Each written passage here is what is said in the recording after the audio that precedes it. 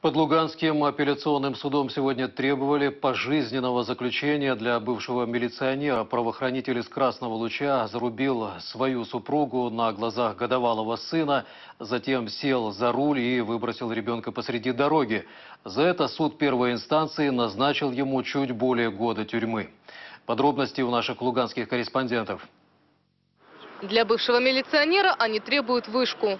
Мы приехали только победить и посадить этого маньяка. Это, в принципе, этому человеку нельзя находиться среди людей.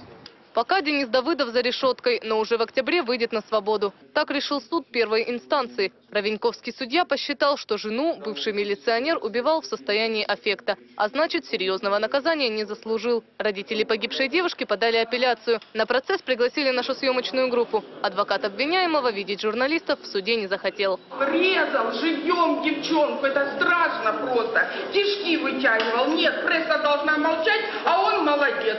Свое мнение в мясных отделах э, Краснолуцкого рынка. Боже, а.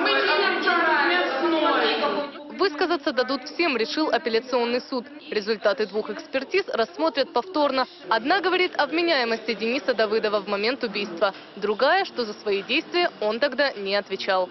Справедливым является то решение суда, которое на сегодняшний момент постановлено. Это решение суда, я еще раз подчеркиваю, оно прежде всего является законным. Оно вынесено в соответствии с имеющимся по делу доказательствами. доказів провини саме у скоєнні навмисного вбивства було е, зібрано достатньо. І, на мій погляд, є щонайменше е, судова помилка е, суду першої інстанції, який постановив з цього приводу інший вирок.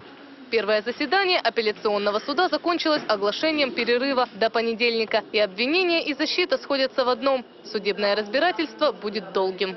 Анна Миронюк, Игорь Крымов, Виктор Белогорцев, телеканал «Донбасс».